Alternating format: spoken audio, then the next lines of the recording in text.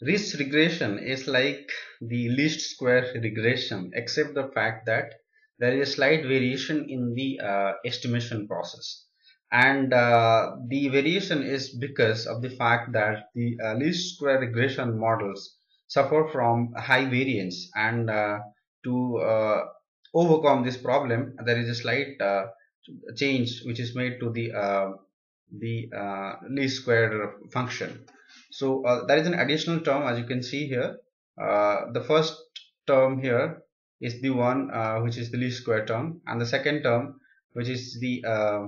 lambda of summation of the beta square where beta is the uh, coefficients. Uh, well this is added to the least square term in order to shrink the parameters